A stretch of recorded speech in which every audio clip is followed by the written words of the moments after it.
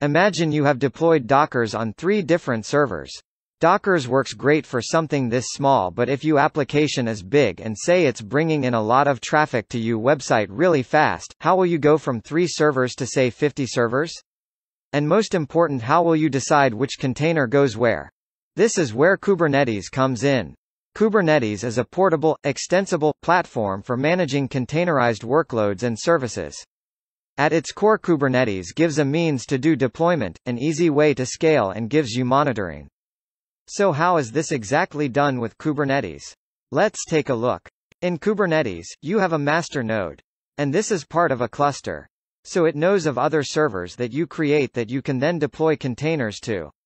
The deployment process is also quite simple. You talk to Kubernetes and tell it what kind of image it would like to create container from and give it a few criteria too. And it creates a deployment. Which is your application. And your deployment can specify a different criterias, such as you need certain of CPU, RAM, file storage. All this is held inside of your deployment and Kubernetes keeps a track of that.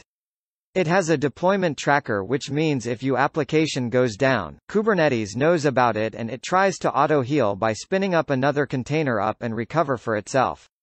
So the way scaling works in Kubernetes is, it will figure out where it will put it for you. But how do you connect to a specific container? That's where services comes in. Example NGINX is our services and we have multiple nodes running and we need to connect to those in an intelligent way, so services lets us manage all those and also puts a load balancer in front and give us public accessibility to this service. We can have multiple services, service A might need two containers but our database service might need one container. They can be on the same machine or Kubernetes might decide to put them in different machines.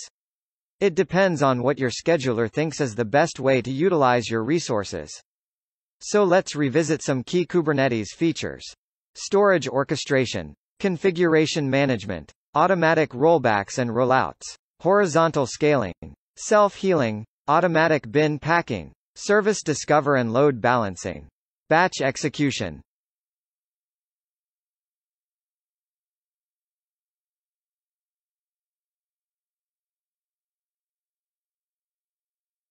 When you partner with NetWeb, you benefit from proven best practices for all aspects of Kubernetes-based operations. Talk to our experts today.